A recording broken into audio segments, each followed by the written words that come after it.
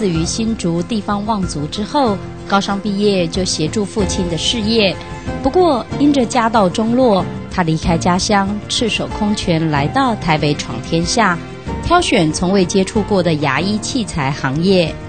他很专注跟医师在讲话的时候，你会发现说，对他自己要求很严格，对任何事情都不要去感到放弃的念头。对他，我觉得他这是他可能经营各种生意方式的理念吧。对，就是叫我们做人不要永远都不要放弃。两百度的 GP 就是说，怎么讲呢？它是比较硬的。就是凭着这样努力不懈的精神，带着妻子黄淑玲一起开创事业。就在功成名就及家庭幸福美满之际，一个不治之症侵袭了他的身体，打乱了他们家原有的生活次序。我们常听到危机就是转机，而今天来到真情布鲁格的这对夫妇呢，他们就是遇上了危机，但是想不到这个危机却成为了他们意想不到的祝福。欢迎陈子章和黄淑玲。陈哥，我们在谈到这个危机的时候，其实可能很多的啊观众朋友是没有听过这样的一个病例的，它是叫做鼻窦腺鼻窦腺癌。呃，我们上网去看了，是属于全世界我是第三个病例。全世界你才第三个啊？对。哇，那医生不是看了就真的是要摇头很棘手了吗？这是跟你的呃有什么样的病史，或是跟你的家族有什么样的关联吗？我本来鼻就有慢性鼻窦炎。嗯哼。可是医生说跟这个可能不是有直接的关系。没有直接关系，医生那时候强烈的怀疑是从，呃，比如说呃大肠或直肠转移过来的。哦。可是做了很详细的检查，呃，包括放射的断层扫描，嗯，他们确定那个病眼就是在鼻窦。就是鼻窦。对。所以你后来想一想说，怎么会自己得到这种病？你也都想不到哈。也想不到。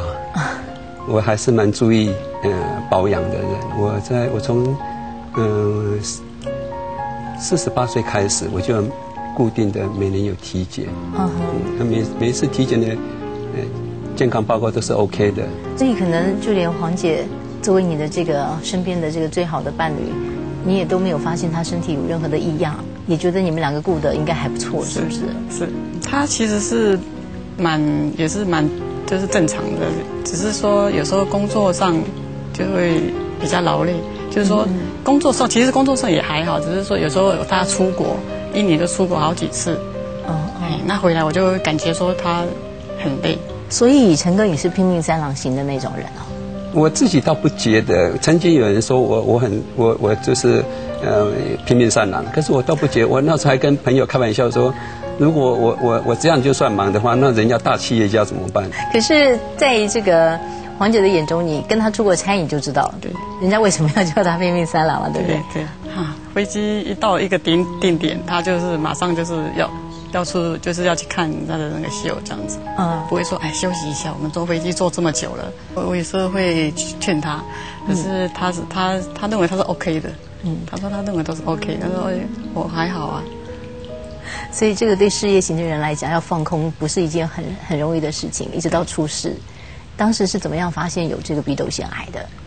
嗯，差不嗯，那时候是时间是九十五年三月嘛。嗯。那那时候三月初的时候，我觉得我好像总觉得自己有点点感冒，呃，鼻塞。但当初我不以为然啊，不想没什么这样子。嗯嗯。那后来嗯，就觉得说鼻塞的情况越来越严重。呃，我就到台大耳鼻喉科去检查。去检查的时候，嗯，医生就看说，我就是鼻腔，呃，鼻鼻腔里面有息肉，嗯，所以他就说，那我我把你我要把你的息肉摘下来去化验一下，我就给他，他就帮我摘了息肉，嗯，然后也好下个礼拜再去看诊这样子，再听报告。隔一个礼拜去的时候，他就说。我记得那个医生就叫我一声说：“哎呀，呃，为什么是怎么是恶性的呢？”然后他就跟我讲说：“看起来好，这是一个呃，这是一个癌症，这样子。那病理报告上面写的是鼻窦腺癌。嗯，那时候我我听了我那时候我还记得，我觉得我的背部呢一阵麻，啊，然后有点有点发热，我不太相信，对，因为我的感觉是我才，嗯，九十四年底的时候，我才给医生看过，呃，鼻子这方面的问题，因为那时候我有一点点慢性鼻窦炎，那那时候都是 OK 的，因为医生都跟我讲很好很好，嗯嗯，那怎么现在会突然之间？跟我讲说是鼻窦腺癌这样子，嗯，而且这个医生告诉你癌症的方法也很特别。哎呀，怎么是？对对对，他完全没有心理准备嘛。是，所以你回去就告诉了太太了吗？其实，呃，那时候我心理上有一点点，有一点点惊讶，可是又觉得这好像不是事实。嗯，所以回去的时候也没有立刻讲。那是我我太太问我说：“你检查结果怎么样子啊？”我就淡淡的跟她说：“医生说，我这是癌症。”哇，你当下反应是什么？一阵一阵酸，就是感觉好像天要塌下的感觉，就是很很难过。所以你们马上就当场想是要不要再找一个什么 second opinion，对不对？嗯，在台北最有名的癌症检检查中心，我就事先就跟他讲说啊，我台大医生跟我检查的是。呃，鼻窦腺癌，那我来做那个第二次检检检查。他用了一个内视镜，伸到我的鼻鼻鼻窦里面，然后还叫我看荧幕，说这里就是你的那个鼻窦腺癌的位置。嗯，看到一个肿瘤在那个在那个地方。是你亲眼看到？我亲眼看到的，看有一点点，有一点点泛。泛蓝色这样子，嗯，然后我就问他说：“那这样子是第几期呢？”那医生也不也不正面回答我的话，他只他只是就就告诉我说：“陈先生，呃，你还有什么事还没做？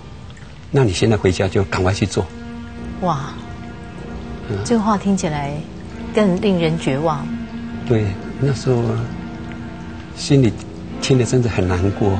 我就想说，好吧，既然两家医院都说一样的，也就是都是一样的那个病名、病因这样子，那我就跟他讲说，好，那我就在这边做手术。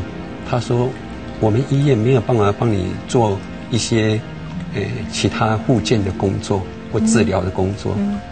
那我问他说，为什么？他说：“嗯，如果由他来动刀的话，我的这个左脸这个颚骨，哎，要锯掉，要锯掉，要锯掉，嗯。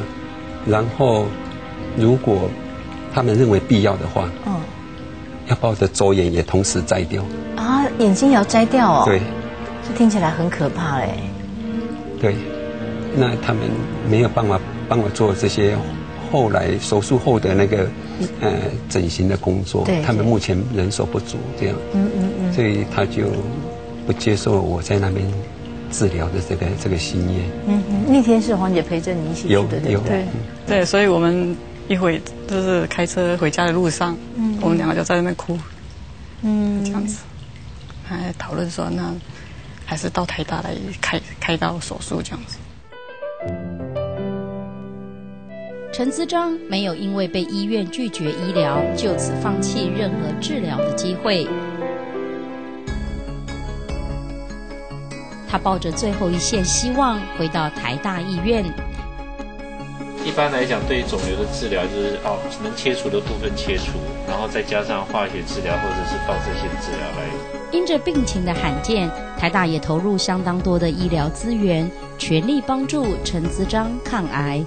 然而，许多医疗上不可预期的风险，让死亡恐惧的阴影不断的笼罩着陈子章。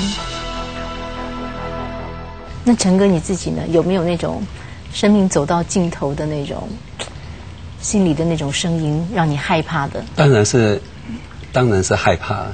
那个害怕，那种感觉，一光是害怕两个字还不足以形容。嗯，我想比较接近的是，应该是极端的恐惧。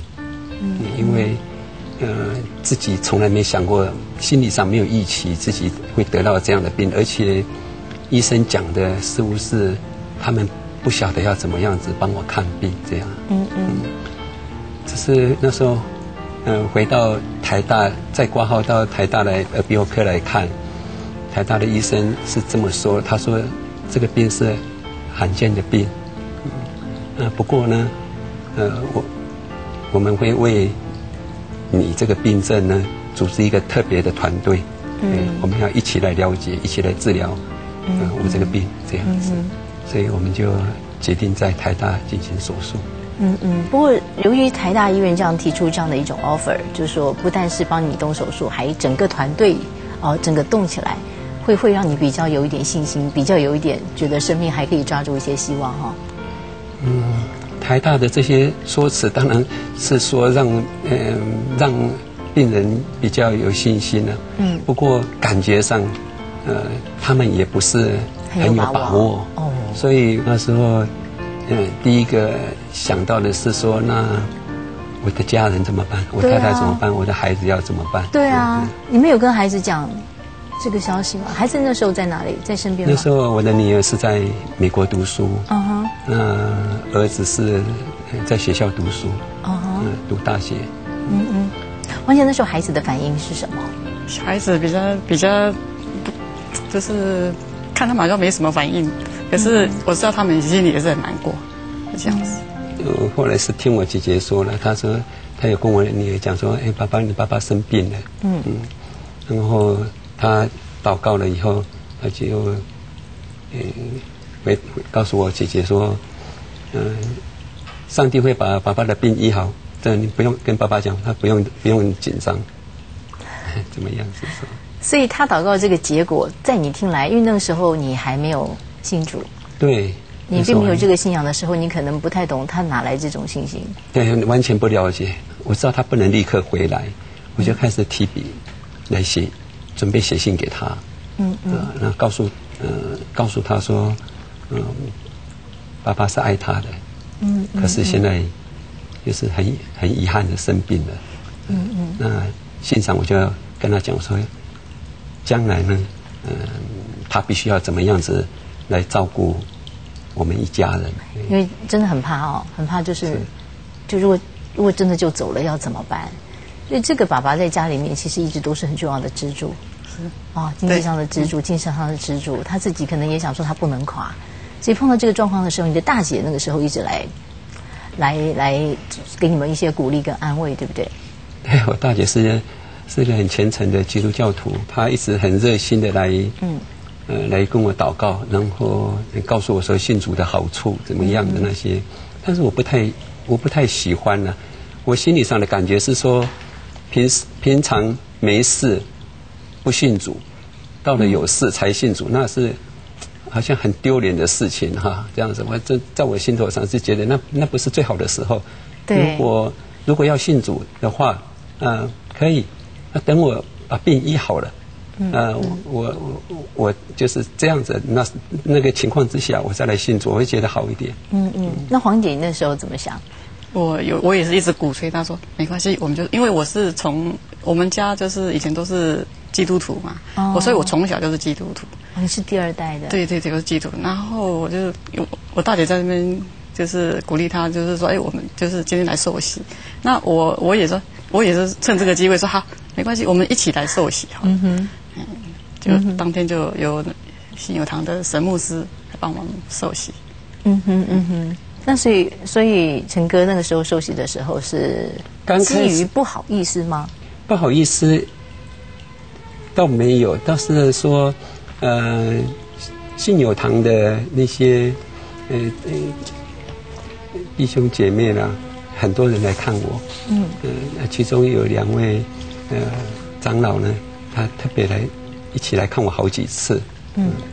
嗯，当时呃，我也有表示说，我也有跟他们表明说，嗯，我对我对那个基督教不是很了解等等。还有我最重要的呢，呃，我还跟他们讲说。在我还不是很了解基督教的时候，嗯，我跟我就是去看了那些旧约圣经图画故事这一类的书，那我会觉得说，嗯，基督教呢，只不过是《西洋封神榜》的那一类故事而已，也也很大胆的去对朋友去批判基督教，啊，认为基督教只是一个神话故事而已。所以当长老来对我祷告，来跟我讲一些呃神的话语的时候，嗯，我就跟他讲说，我我我曾经对这个呃呃上帝呢有很严厉的批判，而且不止批判一次，我记得我总共讲了两次，所以我觉得神不会原谅我，不会接纳我这样子。嗯，即使我要当基督教徒的话，恐怕也不也也已经被拒绝了。那长老怎么说？长老那时候跟我说了，呃，一些话，其中有一有一句话对我最大的打动。他跟我讲说，嗯，只有生病的人才需要医生。嗯嗯嗯，上帝呢是呃怜悯的，嗯，他会宽恕我的罪。嗯，他这样的讲了以后，让我觉得说，嗯，似乎。是真的，是可以感受到那个你本来对这个信仰里面的认识的比较平和的，对，有爱的，有悲悯的，而不是那些神话故事的内容。对对，尤其他讲说，嗯，只有生病的人，就才需要医生；健康的人，那就当然不会去想着医生这样子。那这句话对我当时，呃，是有很大的影响跟鼓舞这样子。流鼻血哈是没有预警的，那个那个流出来的速度呢，有点点像我们水龙头打开来的，水就这样冲出来，我们的直接反应就是鼻子捏住嘛。对。可是，它就这个血液呢就往喉咙流了，会卡到喉咙，对不对？所以你这边要咳血，一吐出来，哇，那个好大的量啊！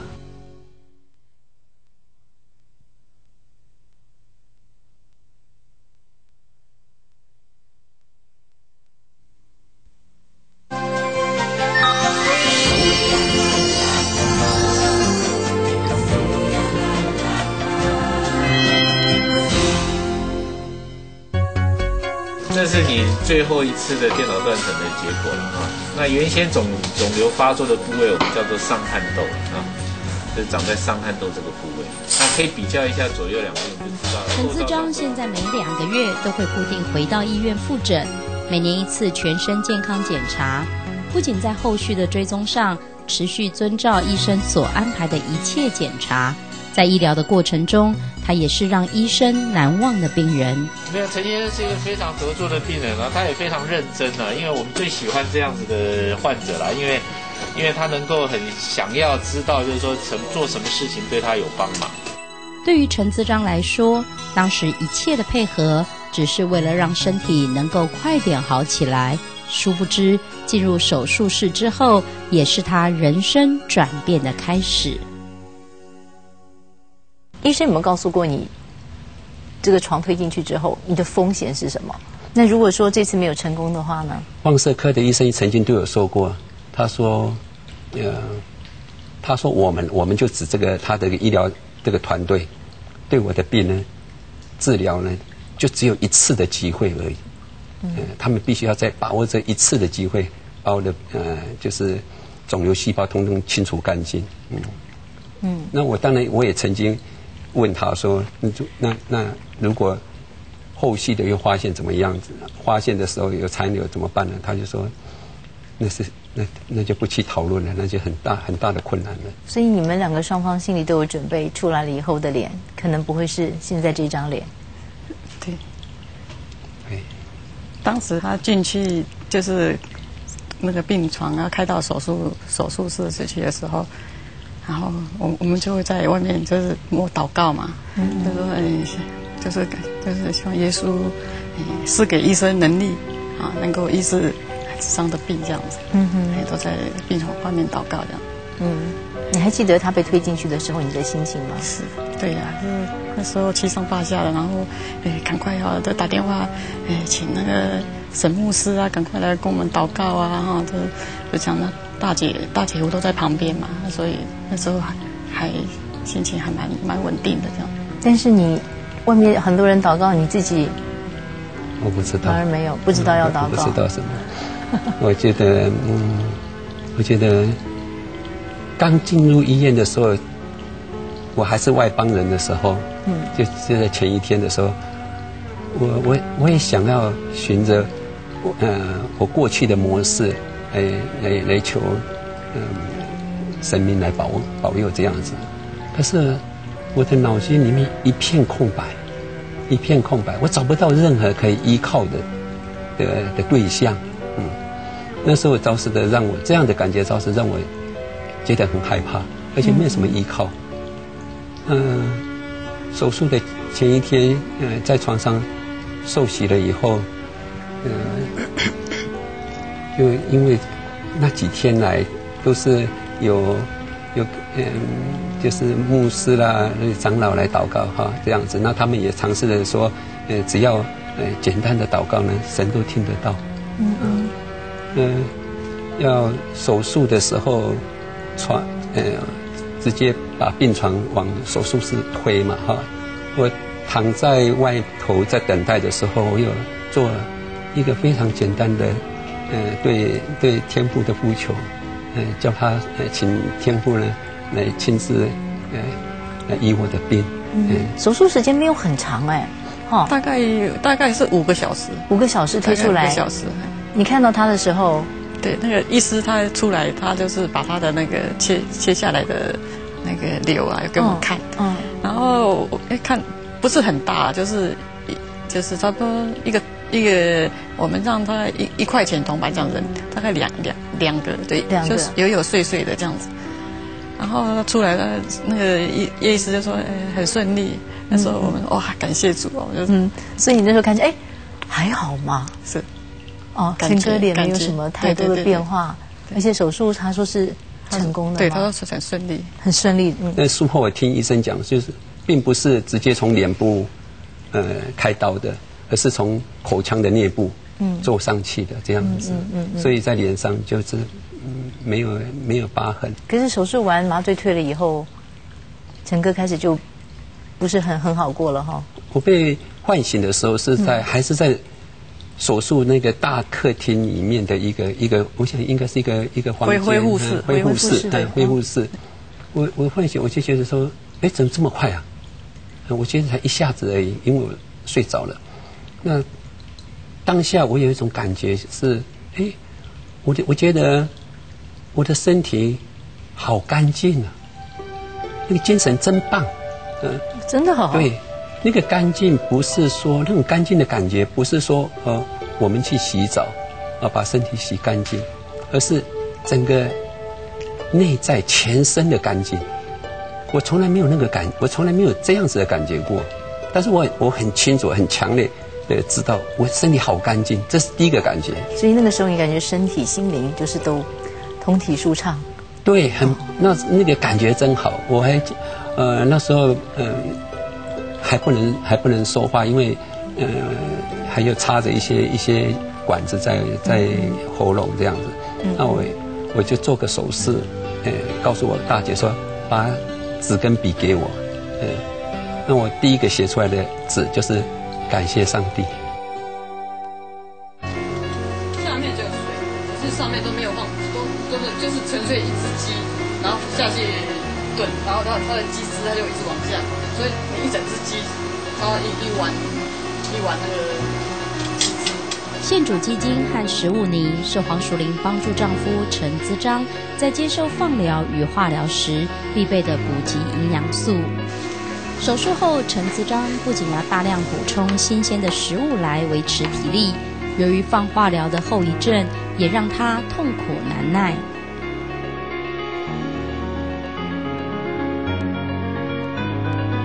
这些文字都是陈资章从圣经当中抄下来的经文。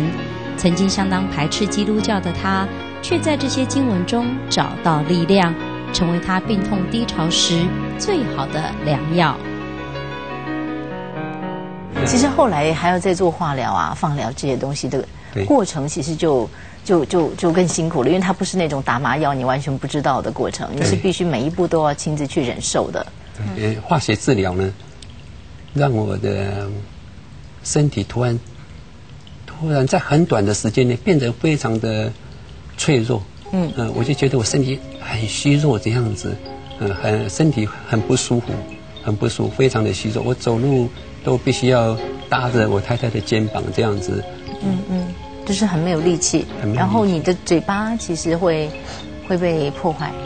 嘴巴的呃口腔的黏膜的破坏是呃放射治疗开始，呃舌头破掉了，嗯嗯。呃呃口腔的黏膜有些破掉，那破的、破掉的范围越来越大，到最后就对。没有办法讲话，也没有办法吃东西。哇，那体力就更差了耶，对对不对？你在旁边看了很心疼哦。对，那能怎么办呢？那时候医生有说就是要尽量吃啊，能吃得下去最好，那不然我们就是要帮你装鼻胃管，不灌进去。对，用灌的。那他他是百般的不愿意，他他就是他说我我要吃看看，那我就是也是尽量 尽量弄一些营养的给他吃，就是都是把它打成流质，用果汁机打成流质，然后尽量就就让他吃。那他也他他也很很有毅力的，他说虽然很不舒服，还是硬会把它吃下去。嗯哼，医生就是吃一阵子，医生回去了，哇，不可思议说啊，你你竟然不用鼻胃管，一般像这种有那种鼻鼻子开刀的，他们都是需要鼻胃管来那个，啊，既然你不用鼻胃管，啊，你也可以吃，你的体力体重也都是没有，就是没有下降了很多。不过大部分的人都痛到连讲话动都不太能动，东西进去很刺哎。你你如何可以做到一般人都一定要插鼻胃管，然后你不用？因为我正好我正好我的行业正好是也是是牙科，所以我就自己也拿了一些牙科的一些嗯表面麻醉剂把它涂着，希望说能减轻哦痛苦这样子。但是事实上那些呃外来的药膏之类，呃对我的疼痛没有太大的帮忙，而且后来医生还告诉我说，那些药品呢涂那些药膏在上面。可能会减缓伤口愈合的速度。嗯嗯，那没有你涂那些药要吃，呃，很多呃食物进去呢，是一个很大的，是一个很大的挑战。刚开始，嗯、把所有的饭，还有一些肉，就是我太太把它打成果汁嘛，好像浆状这样子还要稍微让它冷却，因为热的话不能吃。嗯嗯，到冷却的时候，至少那味道真的是不太好了。有腥味是不是？对对，有腥味。因为如果太烫的话，他嘴巴他嘴巴破洞，不能吃了会痛，更痛，这样子。所以所以怎么办呢？就在那个时候，我觉得说，我就突然想起来说，可以可以祷告啊，我就简单的做了一个祷告，我就希望，呃，上帝能能协助我，把这一碗这个饭给喝下去。虽然我虽然我是一个呃粗信的人，我不太不太会祷告，但是讲的我想讲的也结结巴巴的啦，嗯，可是我祷告完毕的时候，我有一种感觉，就是耶稣就站在我旁边了。他是他就是每次我要喝的时候，他就站在我左边，左边这样子。然后我我就感觉到说，耶稣基督告诉我说，孩子，这一碗粥是我赐给你的，你把它喝下去，你的身体就会恢复健康。然后我就把那个碗就端起来，我会感受到说，耶稣不但是这样子讲而已，而且他会，他就伸手摸到我的头上，我会有一种身体会有一种暖暖的那个温暖的那个电流通过去，哇，对，这样通过去的时候，我我会不自主的，我们就是身体会往椅子前滑坐，让我们平常坐的时候脚是脚底板是在地是踏在地板上嘛。那时候我会把脚很自然的就把脚弓起来，变成脚背是在地板上，嗯，也就是是一个跪的姿势，嗯嗯嗯，屁股只坐一移移至一点点前端而已，整个让整个膝盖是是接触在地上，那么小腿是跪着，然后手撑着桌子，就把那碗喝下去，就咕噜咕噜喝掉了，一口就把它喝完毕了，真的哦，对。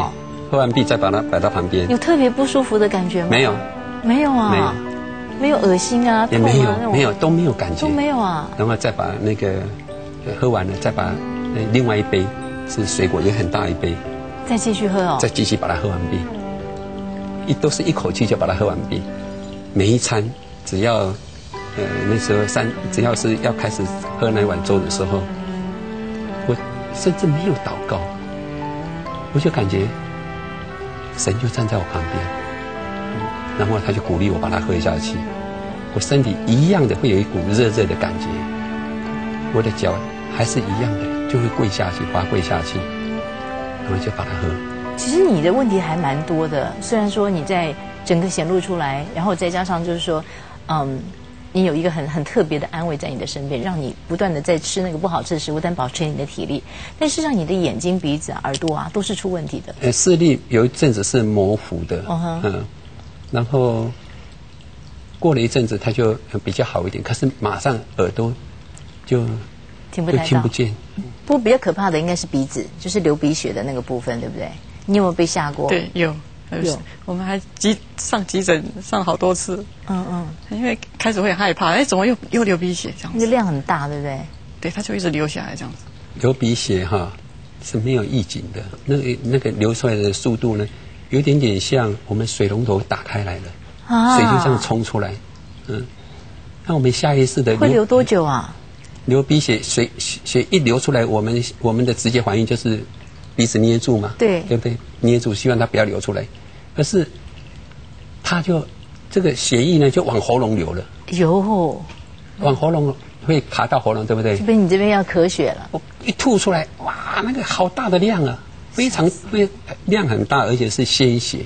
有，所以那个那个感觉是很恐怖，那个那个场景，那个那个看起来是很恐怖的。那也是后遗症。对，黄色的，黄色的后遗症。哎呀。所以其实这些日子这样子过过来，你很能体会为什么很多人在抗癌的过程里面，然后低潮、自杀，是，对不对？就放弃了生路了。对，因为因为嗯，有一段时间我也觉得心情很很低落。我想说，为什么我生病这么生这么久啊？嗯嗯。我过去的过去的经验是感冒一天就好，了不起两三天吃个药打个针就好了。现在怎么拖好几个月，身体还是很虚弱的样子。我我的脑我的脑筋里面还记得以前我是多么的强壮，可是现在竟然是走路都要人家搀扶着来走路，没有上教堂没有办法走路，都是坐计程车去坐计程车回来的。嗯嗯嗯，那个感觉很不好。嗯嗯，你在旁边有看到他？对，都是我陪他。嗯，因为他都是心情情绪心情比较不好嘛。嗯，那有时候我们说。你等于是说，你烦恼快就是伤心，也是一天啊，你就快乐一点呐，哈，心情放轻松。当然，在病人来讲，就想说，你不生病又不是你，当然当然你会讲的这么轻松啊。对，我们是当然说尽量安慰他，也是有时候我只能在默默的，就是说跟主耶稣祷告啊，就这样子来帮助他，这样。所以，真的在这种沮丧里面走不出来的时候，你是靠什么方法去克服呢？就是听牧师的那个 CD，嗯嗯，布道那个见证的 CD 这样听，就是用用听的。诗篇里面的一句话就是说，呃，走过死荫的幽谷，嗯，我会觉得哦，这个描述的好真哦，嗯。嗯，为什么？我从来以前都没有想过，呃，这这样子的呃情境，那圣经上真的是写的，真的把我的心情给写出来了。呃，原来他来。帮我取消这个代理权呢，是为了要把我的代理权转给他自己的公司。那时候我心里一直在想说：好，你就不要让我碰到。你让我碰到的时候，我要怎么来羞辱。生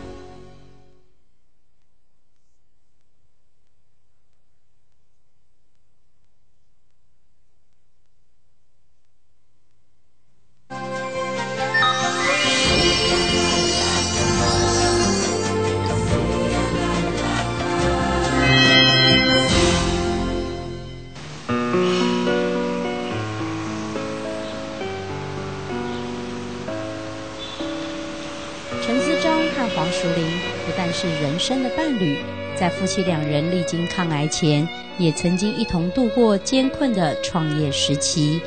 凭着两人口袋里的八万块起家，在创业的过程中还遇过经济危机。这叫生到根管，就是生到牙齿牙牙根管里面去，所以牙医师就借助这样子，然后这个机器会读出来。陈思章凭着一股热情，勇闯牙医器材行业，不但深受顾客信赖。公司的业绩也蒸蒸日上，不过随着他罹患癌症，公司也遇到前所未有的危机。其实，在碰到生病的这个过程里面，还有一段危机，其实是应运而生的，就是你们在事业上面的危机。那个时候你在生病的时候，因为你是在代理这些比较高级的这种牙科的这种医疗器材嘛，对不对？哎，同业。是不是那个时候就开始想抢你的生意啦？那时候过程是这个样子的。那时候我还还在家里休息养病的时候，对，有一个同学就打电话给我，他说他现在呢，他在某某某公司上班，那他现在是我的上司。我去问其他同行，那时候那我才知道说，他为了要。嗯，抢夺我的代理，他把他的公司交给他的亲戚来管理，嗯哼，然后他去应征这家公司海外部的经理，他就跟我讲说，嗯，我的我去年的业绩不好，他说二零零七年呢，你要提升两百 percent 的业绩，就是要一倍，嗯。啊，我当时是想说，哎，他只不过是新任的经理了，所以他要有一些业绩表现嘛，哈，我就就跟他说，好，没有问题，没有问题，这样子。那他拜访我，他我他他跟我约一个时间，说他要来拜访我，嗯哼，我就说好啊，那你就来吧，嗯。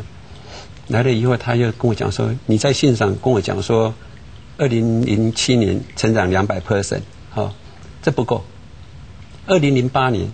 要比二零零七年还要再成长两百 percent，二零零九年要比两二零零八年再成长两百 percent，这样子，啊，你你写个报告给我，看你要怎么样子做到。嗯，他离开了以后，我我写了一我一方面写一封嗯我的企划书给他，一方面我跟我太太讨讨论说，他对方要求是这个样子。我太太跟我讲说，他他不要你当代理的，哎，你即使跟他再怎么承诺，他都不会接受的。嗯，果真是如此。他回了我一个 email，他说我的计划根本是乱写的，都不可能完成的。他要把我的代理权给取消。嗯哼，这样子。那我想说，他就帮我一方面，我想我也生病了。他一方面，这个业绩跟他承诺那个业绩根本做不到，根本做不到的业绩。再者，他是他是主，他是他他的位置是基于主动的位置，他能决定，我不能做改变，我不能做任何决定啊。所以，好吧，那就不代理，就是就就就不代理了，这样子。那让我很惊讶的是，嗯，原来他来帮我取消这个代理权呢，是为了要把我的代理权。转给他自己的公司，所以下一个接下一个那个这个家公司的这个美商的这个代理呢，商品的代理呢，就是他的公司。嗯嗯。呃，那当下让我非常非常的生气愤怒。嗯。那时候我心里一直在想说：好，你就不要让我碰到。你让我碰到的时候，我要怎么样来羞辱你？这样子，我要羞辱他。这样，我我甚至。都把那个言辞都准备好了，怎么样子来来来来来来做这个事情。另外一方面呢，嗯，我也不甘于嗯啊就这样子认了。我想说，我还会在，我我总是会身体会过一段时间我就康复了嘛。对。那我就要再回到职场，呃，所以呢，生病的那一段期间呢，我就呃一直在上网在找找类似类似品，也就是呃功能是一样的的产品来来来预先做准备。可是我找了很多家公司，都谈不拢。在这样的挫折之下，我也我觉得很难过。嗯嗯。那那时候呢，呃，身体已经慢慢在恢复了，嗯，在恢复了。我就跟也已经开始有在比较多的机会在读呃圣经，所以我就慢慢的比较能呃能将我的期望呢、借助的祷告呢，希望那个呃上帝能帮忙啊。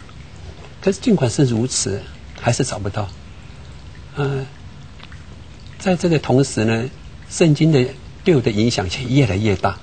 啊，呃，圣经有一些话语呢，譬如说，嗯，嗯，就是比较，嗯，不要不要轻易的发怒了，啊，要原谅原谅，就是做一些一些就是对我们不利的人呢，等等这些话语呢，慢慢的就影响了我。那个感觉就是，我每一次祷告主，让我找到代理商，让我来击败这个呃这个抢走我代理的人。每一次祷告完毕，我心里反而不不会觉得开心，嗯，那到后来我就改变了方式，我就不再祷告说希望让我找到代理。嗯，来胜过这个人抢走我代理的人，我慢慢的改变，说希望上帝能让我的心软化，嗯，是不是能让我可以忘掉这一件事情，甚至让我不再仇恨这个抢走我代理的人？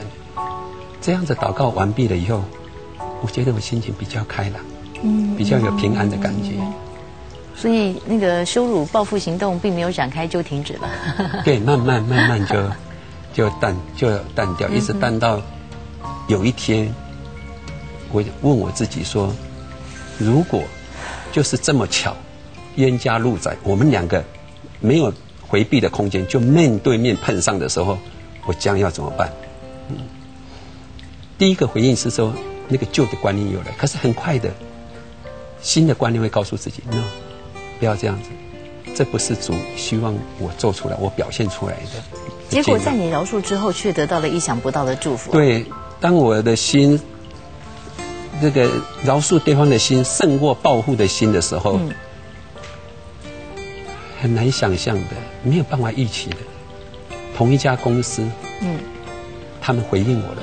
什么叫同一家公司？就是这个这个抢走我代理一样的公司。他回应了我的信，他说他愿意，他可以卖给我，嗯，可是是利用另外一个厂牌，那东西是一模一样的，我很惊讶，就这么样子，我本来都不敢期望的。嗯，其实嗯，不只是公司的业绩后来稳住了，然后你的癌症控制到现在也已经三年了，第三年了，哇，第三年。每每一年，呃，每一年都会有一次彻底的检查，嗯，就是电脑断层扫描，还有呃抽抽血等等，呃，医生都说，我的就是一些的迹象啊，都都是好的，嗯，没有没有任何护花的征兆，没有，完全没有。对，我想最后还是请陈哥跟观众朋友来分享一下，在走过这段路之后，我想你很多的生命态度有一些不一样。我深深的体会到圣经里面的一句话，是：这是出于上帝，一切都是主安排的。主先让我很自大的拥有一切，包括我的事业，包括嗯我的健康。我自以为我可以掌控一切。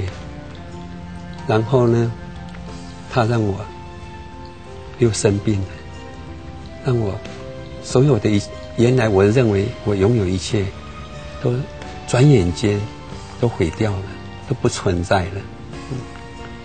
让我在极度恐惧之下呢，来体会到神对我的看顾及对我的爱。在医生以及周围的人都不看好我的病的情况之下，我的健康在众人的眼前很明显的是恢复了。所以，我虽然信主的时间不不算久，但是我深深的体验到，我所信靠的这位主是。确实存在的唯一的，而且是怜悯一切所有的人的。我的一切思想作为呢，我很不自，我就是很自然的，就是以主的心意为主。其实真的好特别哦，我们真的不知道明天的道路会是怎么样，也不会知道明天的阳光会不会依旧洒在我们的肩头。常常我们会觉得我们自己可以掌管自己的人生，但是在陈哥碰上了。是一个非常罕见的癌症，以及在生命上这个事业上的危机的时候，他居然找到了另外一种力量，引领着他每一天往前走，改变了他的生命的眼光，从此也调整了他生活的态度。